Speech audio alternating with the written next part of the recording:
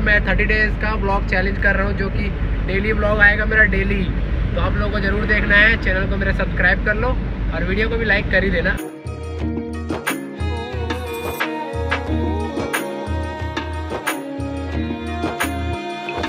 गाड़ी चलाते चलाते हो गया है हालत खराब।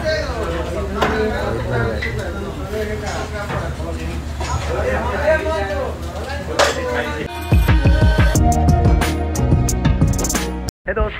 good morning, welcome back to the my new blog. तो आज का ब्लॉग यहीं से स्टार्ट करते हैं। तो मेरा गाड़ी जो कि खाली नहीं हुआ था तो क्रॉसिंग हो रहा है, वो वाली गाड़ी में, क्योंकि एक गाड़ी और खड़ा हुआ था यहाँ पहले से तो मेरा माल नहीं दिख पाया। तो अब तो रही भाई तो चले गया अब मैं भी निकलता हूँ, भाड़ा ले लिया हूँ, गाड़ी पूरी खाली हो गई है। तो अब चलो अब मैं भी निकलता हूँ यहाँ से।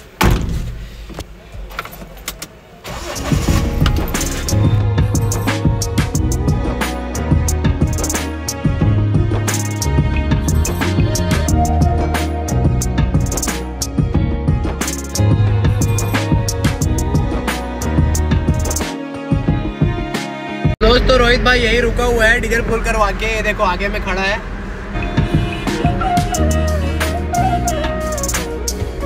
तो यहीं पे रोहित भाई मेरा इंतज़ार कर रहा था कि हम लोग साथ ही में जाते हैं, अगर किसी के लिए भी मतलब जो भी पहले निकल जाए, हम लोग आगे जाके रुके रहते हैं एक दूसरे के। तो ये है बड़गढ़ टोल प्लाजा, अशोका।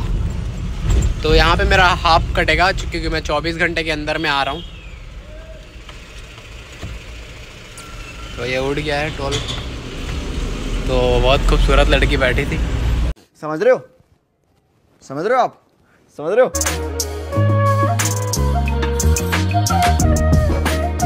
हम रिलायंस के पेट्रोल पंप में रुक रहे हैं जो कि सोहेला के आगे है। सरायपाली वाल बॉर्डर वाल रोड में।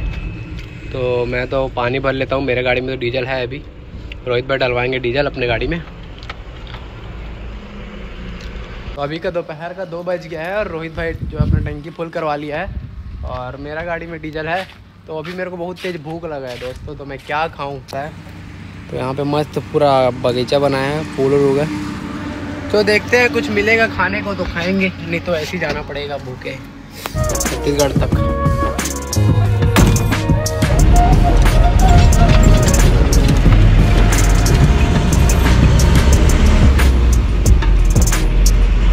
तो ये है छत्तीसगढ़ का सीमा, स्टार्ट हो रहा है यहाँ से।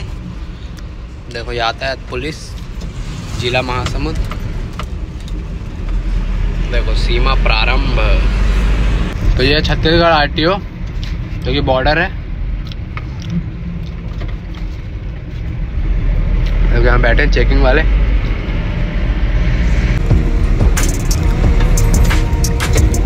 अभी तो पिथौरा के आगे आ गया हूँ मैं और अभी रोकता हूँ खाना खाने के लिए। साढ़े तीन हो गया है, भूख लगा बहुत तेज। यही ढाबा में खाता हूँ मैं हमेशा तो गाड़ी यहीं लगा दूँगा साइड में। रोहित भाई पीछे ही है।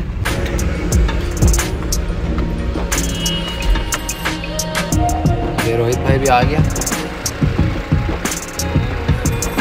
तो यहीं रुके हम लोग खाना खाने के लिए, जो कि बहुत तेज भूख लगा हुआ है। लगा है भूख?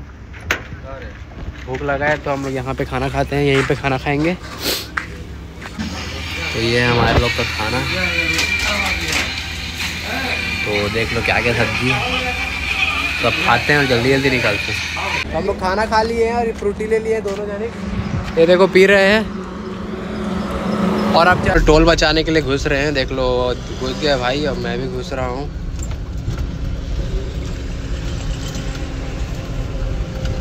तो क्या है कि ये टोल में सबसे ज़्यादा कटता है पैसा। हम लोग अब पिकअप वाले लोगों का। ये जो टोल है, इसमें कटता है दो सौ पैंसठ और कार का कटता है एक सौ सत्तर तो जो कि बहुत ज़्यादा है ये टोल का तो इसीलिए हम लोग बचाने के लिए अंदर आ गए हैं। ये ज़्यादा लंबा नहीं है, पाँच सौ मीटर एक्स्ट्रा पड़ता होगा, ज़्यादा नहीं पड़ता है। थोड़ा सा बस कच्चा रास्ता पड़ेगा। और यहाँ पर गाँव भी है, जो कि आप लोग हो तो आराम से जाए करो। देखो भाई, बड़े बुज़ुर्ग लोग बैठे हैं सामने में।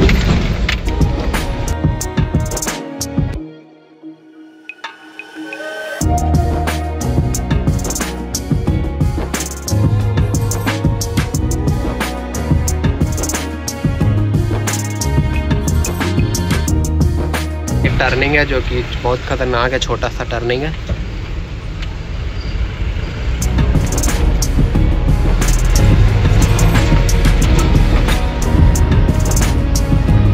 लो, कच्चा रोड स्टार्ट हो गया जो कि ज़्यादा दूर का नहीं है।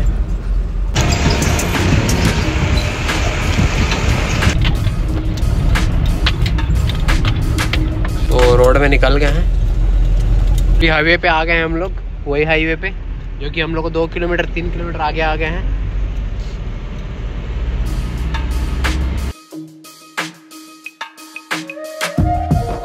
आप लोगों को बता दूँ, अभी मेरा गाड़ी गया जो आप लोगों को मैं दिखाया, देखो वीडियो डालूँगा। तो वो जा रहा है भुवनेश्वर। तो कल मैं भी हो सके तो भुवनेश्वर का लोड करूँगा। तो कल भी ब्लॉग चालू रहेगा मेरा। मंदिर रिसोर्ट टोल प्लाजा।